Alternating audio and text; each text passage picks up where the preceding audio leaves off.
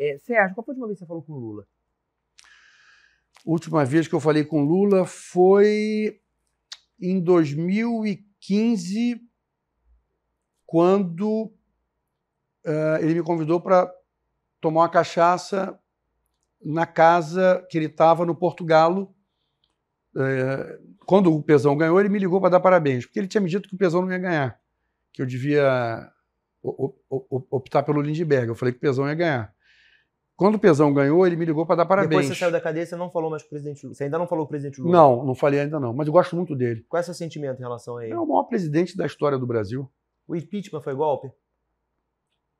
Olha, eu acho que o impeachment não foi golpe. O impeachment não foi golpe. Eu acho que o PT tem todas as razões para ficar repetindo isso. O próprio presidente, pela a, a presidência da República, o Fernando Henrique me disse uma vez, eu fui fazer uma palestra no INSPER e o Fernando Henrique foi almoçar comigo nesse dia, porque o Instituto FHC patrocinava a minha palestra no INSPER, para eu contar o meu case de governo. Depois nós ficamos almoçando e o Fernando disse: Olha, eu tenho mais razões para gostar da Dilma do que do Lula. Isso em 2014. Porque a Dilma me trata melhor do que o Lula. Naquela ocasião ele disse isso. Mas a Dilma não vai dar certo, não. Porque a presidência da República é muito imperialista no Brasil.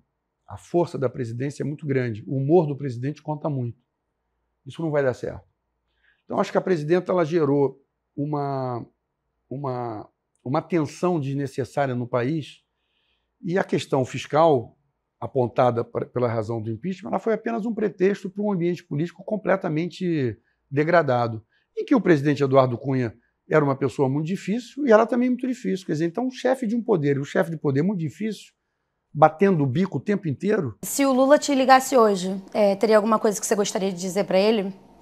Primeiro, dar parabéns por essa vitória. Acho que o Brasil tomou a decisão mais correta, independente do, do que ele for fazer. Acho que a institucionalidade do país voltou. Uhum. Nós estávamos muito.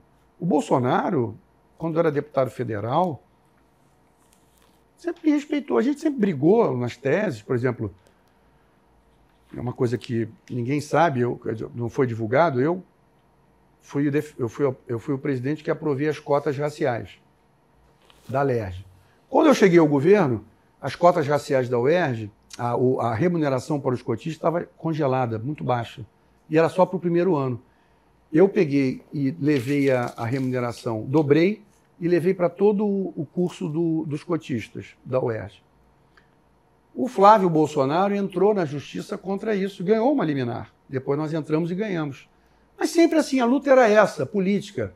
Eu fazia umas críticas a ele, coisa de defender ditadura, não sei o quê, lá. Mas quando eu fui preso, eu tenho que registrar ah, em 2015 e 2016, perdão, em 2017 e 2018, antes de disputar a presidência, o Marco Antônio, meu filho, tinha gabinete no mesmo corredor que ele. Uhum. E ele fazia questão de perguntar, Marco, como é que está teu pai? Manda um abraço para ele.